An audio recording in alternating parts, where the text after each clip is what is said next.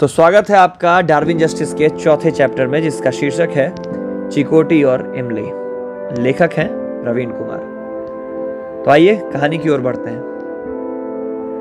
जब सपने अधूरे रह गए तो अनय ने फिर से नींद को बुलाने की पूरी कोशिश की, कि चलता हुआ चलचित्र जहाँ से रुक गया था, फिर से चल पड़े। पर ऐसा कब हुआ है जो अनय के साथ होता? कुछ देर तक प्रयास करने के बाद, जब उसे नींद नहीं आई तो अनय बिस्तर से उठा, लेकिन उठते समय ध्यान पैंट के उस हिस्से पर गया, जो स्खलित स्पर्म के कारण चिपचिपा हो गया था। उसके मन में यह भी ख्याल आया कि माँ देख ली तो क्या सोचेगी। बिस्तर से उठते ही वो कमर पर गमछा लपेटकर पैंट धोने खारी कुएँ पर चला गया। आज उसके हिस्से में यह अतिरिक्त कार्य आया था कि उसे अपने खाकी रंग का हाफ़ पैंट खुद ही धोना पड़ रहा था। जब अनय खारी कुएँ पर अपना पैंट धो रहा था, तब उसके दिमाग में एक अजीब सा विचार पनपा था। शायद ऐसे ही कोई विचार किसी आदि मानव के मस्तिष्क में कुलबुलाए होंगे। और इंसान जंगल से निकलकर आज मल्टी स्टोरी बिल्डिंग में रहने लगा। चाँद तक हो आया और इसके आगे की यात्रा के लिए तैयारी कर रहा है। सोचना इस ब्रह्मांड में इंसान के मस्तिष्क का सबसे दुर्लभ गुण है। इस सोचने की शक्ति की वजह से इंसान जहाँ था, आज वहाँ से बहुत आगे निकल आया है। हो सकता है सोचने की शक्ति का विकास और जीवों में भी हो, पर शायद ही कोई जीव इतना कल्पनाशील हो, जितना इस ब्रह्मांड में मनुष्य है। आप अनय को देखिए कि जब वह स्पर्म के दाग वाले पैंट को धो रहा था, तब क्या सोच रहा था? यह बात उसने उसी दिन रास्ते में बताई थी, जब हम साथ साथ भूगोल का पेपर देने स्कूल जा रहे थे। रात में जो खत लिखा गया था, मुझे दिखाया, सपने में क्या हुआ, वह सब बताया। और बात की, खारी कुएँ पर पैंट से स्पर्म के दाग को साफ़ करते वक्त, उसके दिमाग में क्या विचार आया था? आप सुनकर हंसेंगे, लेकिन हंसिए मत। यही वह सबसे दुर्लभ गुण है जो शायद जानवरों में नहीं है, और अगर है तो शायद इंसानों को इसकी भनक नहीं है। अनय ने सोचा था कि मैट्रिक पास करने के बाद वह विज्ञान पढ़ेगा, और एक ऐसी मशीन बनाएगा जो टूट गए सपनों को फिर से वहीं से शुरू करेगी, जहाँ से नींद खुल जाने के कारण सपने अधूरे रह गए थे। वह चाहता था कि ऐसा सपने ऐसे सपने जब अधूरे, अब अधूरे न रहे। वह इन सपनों को उनके चरम तक ले जाना चाहता था। वह चाहता था कि ऐसे सपने अब अधूरे न रहें, वह इन सपनों को उनके चरम तक ले जाना चाहता था। एक सपना जो एक फ़िल्म की तरह चल रहा था, अचानक टूट गया था। वह छूने से आगे नहीं बढ़ सका कि उसके बाद क्या था। वह इस रहस्य से एक दिन पर्दा हटा देगा। मैं आने का इंतज़ार मंदिर के पास उस पोपली तमोलन के दुकान पर करता हूँ, जिसे मालूम है कि कौन कौन मंदिर के तालाब में नहाने से पहले पानी के अंदर अपनी टोटी से तालाब में पानी छोड़ता है। याद आया ना तमोलन के बारे में? हाँ वही पोपली तमोलन, जो इसी कारण तालाब का जल माता को नहीं चढ़ाती है। हम में से जो कोई भी पहले तमोलन के दुकान पर पहुँचता है, वह वहीं दूसरे का इंतज़ार करता है। मैं अक्सर वहाँ आने से पहले पहुँचता हूँ। उसका कारण है। वह दुबली पतली सूखी लड़की, जिसके बारे में अनय का ख्याल था कि सपाट छातियों के कारण कुदरत ने अभी उसके मस्तिष्क में कोई भाव नहीं उभेरे। वहीं से गुजरकर स्कूल जाती थी। मैं पहले कह चुका हूँ कि मैं उस पर लाइन मारता हूँ। मगर उसकी तरफ़ से कभी कोई सिग्नल नहीं मिला। फिर भी समय बचाकर उसके आगे पीछे कर लेता हूँ। पर उसे इस बात की खबर नहीं है, क्योंकि उसके आगे पीछे करने वाले कई लोग हैं। वह कितनों का ख्याल रखेगी? यह सोचकर मैं भी सिर्फ़ लाइन मारता हूँ। इसके अलावा भी कभी कभी दूसरे और कम खूबसूरत विकल्पों पर भी विचार कर लेता हूँ। कोई और लड़की किसी वजह से मुझे देखकर मुस्कुराती है तो मैं भी मुस्कुरा लेता हूँ। या किसी को देखकर यूँ ही मुस्कुरा लेता हूँ कि शायद वो भी मुस्कुरा दे। मेरे दिल के दरवाजे पर कोई दस्तक नहीं है। चाहता हूँ कि दस्तक हो, पर चाहने से क्या होता है? जब अनय तमोलन की दुकान पर आया, तब तक छुहाड़े की तरह सूखी लड़की तमोलन की दुकान को क्रॉस कर गई थी। मैंने देखा उसे। उसने भी देखा होगा शायद। क्योंकि लड़कियों के पास देखने के लिए कई आँख, आँखें ही नहीं, कई तरीके भी होते हैं। पर मुझे ऐसा नहीं लगा कि उसने मेरी तरफ़ नज़र भी उठाई थी। अनय ने आते ही चश्मिश के लिए रात में लिखा पत्र मुझे दिखाया। मैंने देखा और कहा, ठीक है। हम दोनों साथ साथ स्कूल के लिए पैदल चल रहे थे। खत में एक जगह एक लाइन को इस तरह से काटा गया था कि चाहकर भी कोई उस लाइन के एक भी शब्द को पढ़ नहीं पाता। मैंने कहा ऐसा क्यों किया? तब तक चलते हुए हम उस इमली के पेड़ के पास आ, आ रहे थे जिस पर भूत होने का शक माखनपुर के सभी ग्रामवासियों को था। आनंद ने कहा कि सुबह उठने के बाद जब वह खत को फिर से पढ़ पढ़ रहा था तब उसे यह लाइन पढ़कर बेवकूफ़ जैसा महसूस हुआ। क्या लिखा था इसमें? यह कहते हुए मैंने रास्ते पर पड़ा एक पत्थर उठाकर इमली के पेड़ पर चला दिया। संयोग देखिए, इमली के तीन लंबे लंबे बूटे पेड़ से गिर गए। तीन में से एक थोड़ा छिल गया था। इमली कच्ची थी। गिरी इमली को उठाते हुए अनय बोला, तुम्हारे बिना ज़िंदा नहीं रह पाऊँगा। मैंने कहा, ठीक ही तो था। इस पर अनय कुछ नहीं बोला।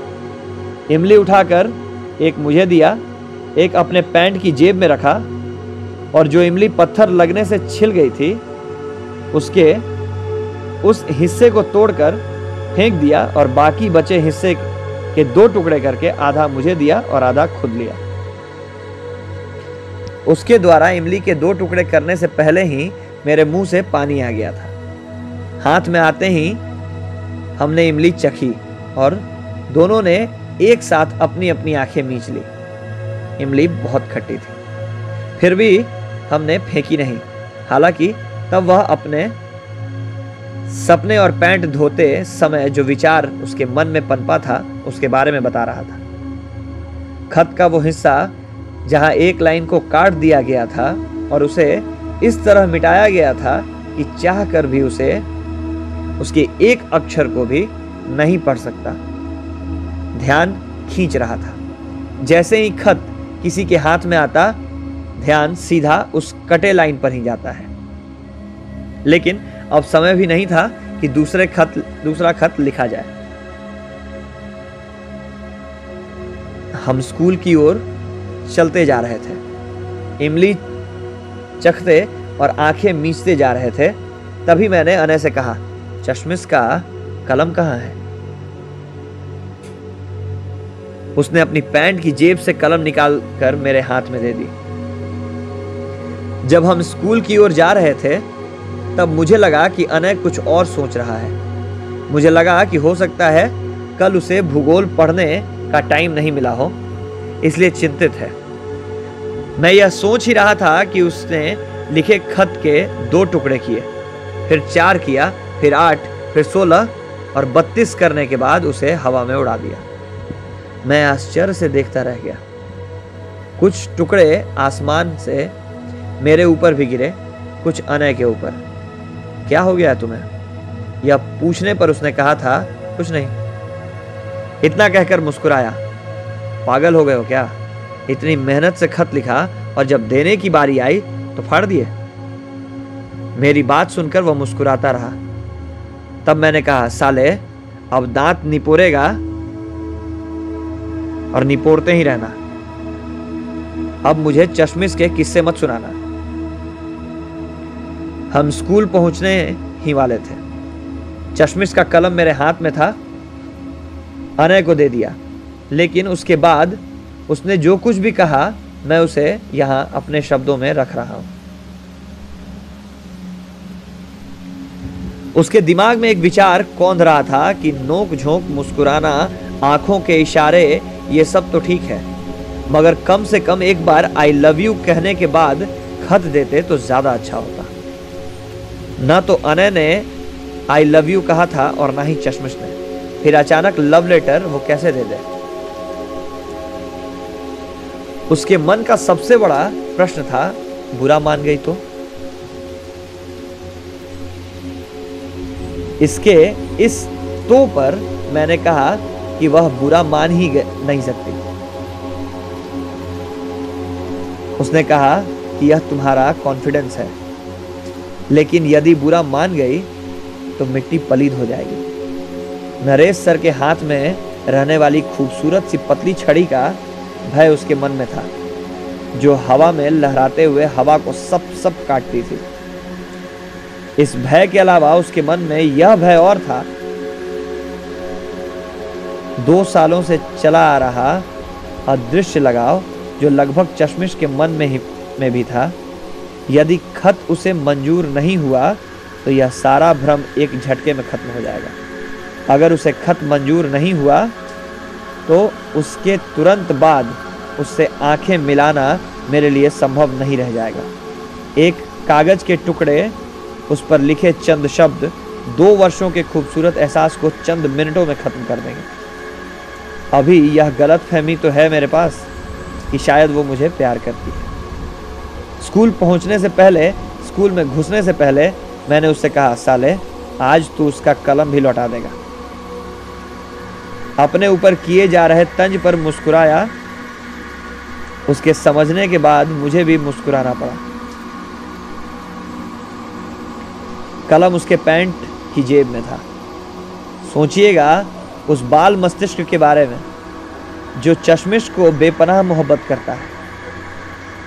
या कहिए कि करता था, जो इस बात से डरता था कि इनकार कर दी तो कम से कम अभी एक भ्रम तो है कि वह मुझे प्यार से घूरती है। उसके मस्तिष्क में एक ख्याल और था, जो बहुत ज़्यादा तो नहीं पर था कि लड़की को प्रेम पत्र देना गंदा काम है। अभी हम छोटे बच्चे हैं। लोग कहते हैं, लड़कियों को नहीं छेड़ना चाहिए। जब यह बात माखनपुर पहुंचेगी कि मैंने चश्मिश को प्रेम पत्र दिया है तो गाँव के लोग क्या सोचेंगे? कलम के खो जाने के कई कारण हो सकते हैं, लेकिन एक बार यदि चश्मिश पत्र नरेश सर के हाथ में थमा दी तो फिर कोई बहाना नहीं चलेगा। क्या प्रेम इतना डरपोक, इतना सतर्क, इतना समझदार हो सकता है? हाय, कच्ची उम्र का प्रेम ऐसा ही होता है क्या? कच्ची उम्र का प्रेम ऐसा होता है क्या? उम्र के इस पड़ाव पर प्रेम छोटी सी नदी में अचानक आए बाढ़ की तरह है, जो जल्दी से जल्दी संतुलन चाहता है। वह अपने बहाव के रास्ते में आने वाले किसी भी अवरोध पर किंतु परंतु नहीं सोचता है।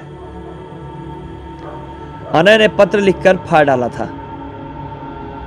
इसे आप किस संदर्भ में देखते हैं मुझे नहीं मालूम। मैं सिर्फ़ यह सोच रहा हूँ कि कच्चे उम्र का प्रेम या आकर्षण सामाजिक संरचना के हिस्से में शामिल भय से डरता है क्या? हम दोनों क्लास में घंटी लगने के बाद घुसे थे। परीक्षा भवन में हमारी जगह फिक्स थी। हम अपनी सीट पर बैठे। चश्मिश पारदर्शी चश्मा पहने अनय के पीछे वाली सीट पर पहले से बैठी थी। उसके चश्मे के फ्रेम के दोनों किनारे, किनारों से बांधा काला धागा उसके गर्दन से झूल रहा था। थोड़ा चश्मिश का ज़िक्र कर देता हूँ। थोड़ा अपने दिमाग को उस पर भी खर्च कर लीजिए कि वह दिखने में कैसी थी। चश्मिश का रंग एकदम गोरा था, मिल्की वाइट। नाक थोड़ा पठार सा। न बहुत छोटी, न बहुत बड़ी आँखें। होठ का रंग गुलाबी है। होठ न पतला है, न मोटा है। चेहरा थोड़ा चौड़ाई लिए है। कद उतना ही कि जितने से आप किसी को ठिंगने की श्रेणी में नहीं रख सकते।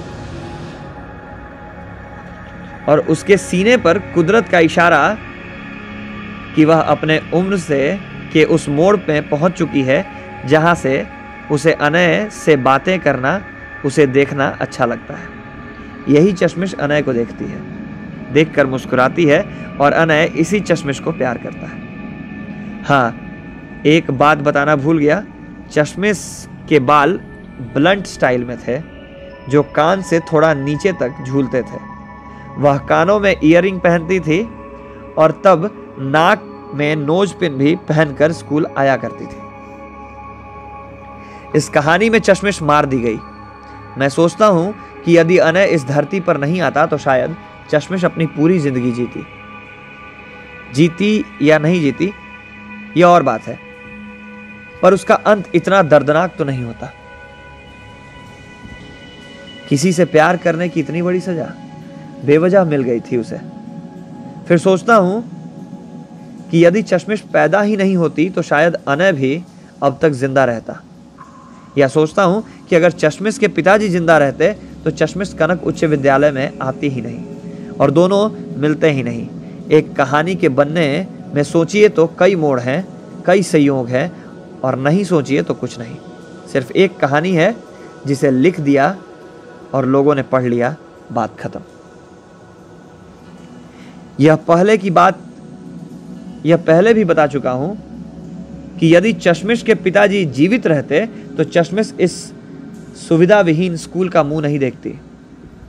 इंसान को इस धरती पर भेजने से पहले शायद उसके जीवन की लकीरें खींच दी जाती हैं। और फिर इंसान को उस लकीर के अंतिम छोर तक पहुँचने के लिए कुदरत धीरे धीरे परिस्थितियाँ बनाती रहती है। इस धरती पर जीवों का आना और जाना कुदरत के किसी कार्यक्रम का हिस्सा है। आप कह सकते हैं, अनय का चश्मिश से मिलना महज संयोग था। आप कह सकते हैं, चश्मिश का पुष्पा विद्यालय जाना भी संयोग मात्र था। आप कह सकते हैं, चश्मिश का पैदा होना संयोग मात्र था। पहले से निर्धारित कुछ भी नहीं था। तो जरा चश्मिश के पैदा होने की कहानी सुन लीजिए। फिर आप इसे संयोग मानने के लिए स्वतंत्र हैं। लड़के के चक्कर में चार लड़की पैदा हो जाने के बाद चश्मिश के पिताजी ने लड़के का मुँह त्याग कर मन ही मन फैमिली प्लानिंग का निर्णय ले लिया था। अपने इस निर्णय से वे पत्नी को अवगत करा चुके थे। पत्नी फैमिली प्लानिंग के पक्ष में नहीं थी। पता नहीं पत्नी के मन में यह भ्रम कहाँ से आ टपका था कि फैमिली प्लानिंग कराने के बाद मर्द या औरत कमज़ोर हो जाते हैं। इस चक्कर में न तो वह खुद फैमिली प्लानिंग करवा रही थी और न अपने पति को करवाने दे रही थी। चश्मिश के पिताजी यह भी सोचते थे या समझते थे कि लड़के या लड़की का पैदा होना न उनके हाथ में है, न उनकी बीवी के हाथ में। यह संयोग मात्र है। और फैमिली प्लानिंग के बाद कमज़ोरी वाली बात को वे नकारते थे। अपनी पत्नी को इस बारे में कई बार समझा भी चुके थे। पर उनकी पत्नी इस मामले में उनकी एक भी नहीं सुनती थी। पत्नी के मन में यह लालच था कि वंश बेटे से चलता है। बेटी से परायों का वंश चलता है। वह एक बेटा चाहती थी। तब चश्मिश के पिताजी मन ही मन यह प्लानिंग कर चुके थे कि जैसे ही बीवी मायके जाएगी, एक दिन चुपचाप अपनी नसबंदी करवा लेंगे। एक बार नसबंदी हो जाने के बाद जो हो हल्ला होना है, होता रहेगा, लेकिन तब तक क्या किया जाए? लेकिन तब तक क्या किया जाए? लेकिन तब तक क्या किया जाए? इस सोच में उन्हें पत्नी को कॉन्ट्रासेप्टिव देने के लिए मजबूर किया। इस सोच ने उन्हें पत्नी को कॉन्ट्रासेप्टिव देने के लिए मजबूर किया। वे जानते थे कि यदि पत्नी को यह पता चल गया कि वे गर्भ निरोधक गोलियाँ हैं तो वह इन गोलियों को हाथ तक नहीं लगाएगी। उन्होंने अपनी पत्नी से कहा था कि इसे खाने से पुत्र होने की संभावना बढ़ जाती है। यह लगभग 1973 की बात है। जब पूरे भारत में कुल शादीशुदा जोड़ों में से मात्र 12-13 परसेंट महिलाएँ ही कॉन्ट्रासेप्टिव का प्रयोग करती होंगी। लेकिन यह राज उनकी पत्नी से बहुत दिनों तक छुपा नहीं रह सका। उनकी छोटी ननद, जिसकी कुछ दिनों पहले ही शादी हुई थी, जब ससुराल से आई तो घर में माला डी की एक खाली स्ट्रिप उसे भाभी के कमरे को बहारते वक्त मिली। ननद को पता था कि भाभी पुत्र प्राप्ति के लिए कोई गोली खा रही है। लेकिन जब यह स्ट्रिप उसके उनके कमरे में देखी तो पूछ बैठी, भाभी, ये कौन खाता है? भाभी बोली, मैं। ननद के चेहरे पर विस्मय की लकीरें देखकर भाभी फिर बोली, क्यों, क्या हुआ? इसी को खाने से बेटा पैदा होने का चांस बढ़ता है। ननद को भौजाई के अनपढ़ होने का अफसोस हुआ। उसे अफसोस हुआ कि एक पुरुष अपनी पत्नी को विश्वास में लेने के बजाय उसे किस तरह का धोखा दे रहा है? कोई अनपढ़ है तो उसकी भावनाओं को या भावनाओं से ऐसे मत खेलिए। क्या बीतता है उस इंसान पर जब उसे अपने अनपढ़ होने का सही एहसास होता है कि कोई उसे इसलिए ठग रहा है कि वह अनपढ़ है? और ननद जब मायके से ससुराल जाने लगी तो जाने से पहले सारी पोल पट्टी खोल गई कि भैया आपके साथ क्या कर रहे हैं। इस दवाई को मत खाइए, इससे तो बच्चा गर्भ में ठहरता ही नहीं। पत्नी चाहती तो पति को धोखा दे सकती थी। चुपचाप रहती, गोलियाँ नहीं खाती, लेकिन स्वभाव, स्वाभिमानी औरत इस बात को आसानी से हजम नहीं कर सकती है। लेकिन स्वाभिमानी औरत इस बात को आसानी से हजम नहीं कर सकती है। स्वाभिमानी का अनपढ़ और गंवार होना, होने या ना होने से कोई संबंध नहीं। हाँ यह हो सकता है कि शिक्षा इसे थोड़ा और परिष्कृत कर दे, लेकिन मोटा मोटी वह इंसान के अंदर का इनबिल्ट कैरेक्टर है। दो तीन दिनों तक पत्नी, पति में खूब ठनी। पति माफ़ी मांगना, माँगता रहा। स्वाभिमानी औरत ने एक न सुनी। उसने पति को अपनी गलती का एहसास तो हुआ, पर पति को किसी भी हाल में अब बच्चा नहीं चाहिए था। तो नहीं चाहिए था, चाहे कुछ भी हो जाए। और तब पत्नी यह फैसला ली कि यदि आपकी ज़िद यही है तो फैमिली प्लानिंग मैं करवाऊँगी, जो भी होगा मेरे साथ होगा। चश्मिश के पिताजी, अब सपने में भी पत्नी से यह कहने की हिम्मत नहीं कर पा रहे थे कि जब तक ट्यूबोक्टोमी नहीं हो जाता, तब तक कॉन्ट्रासेप्टिव यूज़ करो। फिर उन्होंने ही कॉन्डम यूज़ करना का निर्णय लिया। याद है ना, चश्मिश अभी धरती पर नहीं आई है। देखिए उसका आगमन कैसे होता है।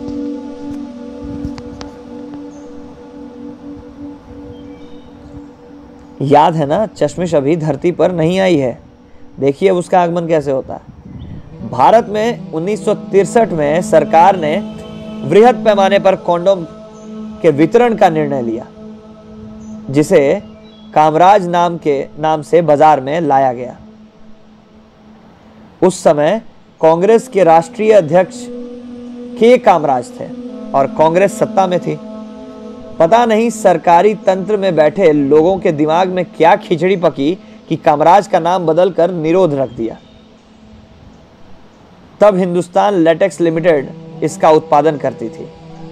1974 के प्रथम महीने में इस कंपनी ने एक ग्राहक चश्मिश के पिताजी भी बने। 1974 के प्रथम महीने में इस कंपनी के एक ग्राहक चश्मिश के पिताजी भी बने। तब भारत में गिने चुने लोग कॉन्डोम का इस्तेमाल करते थे। आप सवाल कर सकते हैं कि चश्मिश के पिताजी इसके ग्राहक बने, ये बात मुझे कैसे पता चला? तो मैं बता दूँ कि जब मैंने इस कहानी को लिखने का निर्णय लिया तो इसके लिए कई लोगों से मिला। उसमें से कुछ चश्मिश के परिवार के सदस्य भी थे, जिनके कथनों के अनुसार के आधार पर मैं एक निष्कर्ष पर पहुँचा और तब उसके जन्म की तारीख से नौ महीने पीछे गया, जहाँ मौजूद कई साक्ष्य, कई बातों की ओर इशारा कर रहे थे। फिर कई लोग जो इन दोनों के रिश्तेदार हैं, करीबी हैं, उनसे पूछने पर वे टुकड़े टुकड़े में कुछ न कुछ नया बताते रहे। फिर इन टुकड़ों के बीच सामंजस्य स्थापित करने पर एक वाक्य बना, फिर एक पैराग्राफ बना, फिर कई पैराग्राफ बने, एक पेज बना, एक चैप्टर बना और तब एक कहानी बनी और तब इस कहानी में यह कॉन्डोम आया। बात जून 1974 की है। चश्मिश के पिताजी हिंदुस्तान लेटेक्स लिमिटेड कंपनी के ग्राहक बन चुके थे। पटना में जयप्रकाश नारायण की एक सभा में उन्हें जाना था। यह वही सभा थी जहाँ से जयप्रकाश नारायण ने संपूर्ण क्रांति का नारा दिया था। जिस सुबह उन्हें निकलना था, उस रात हिंदुस्तान लेटेक्स लिमिटेड कंपनी का निरोध फट गया। वे बायोलॉजी के छात्र थे, उंगलियों पर दिन जोड़े मासिक धर्म का तेरहवा दिन कंसीव करने की प्रबल संभावना।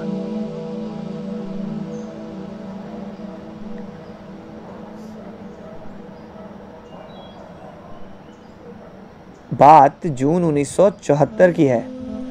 चश्मिश के पिताजी हिंदुस्तान लेटेक्स लिमिटेड कंपनी के ग्राहक बन चुके थे। पटना में जयप्रकाश नारायण की एक सभा में उन्हें जाना था। यह वही सभा थी जहाँ से जयप्रकाश नारायण ने संपूर्ण क्रांति का नारा दिया था। जिस सुबह उन्हें निकलना था, उस रात हिंदुस्तान लेटेक्स लिमिटेड कंपनी का निरोध फट गया।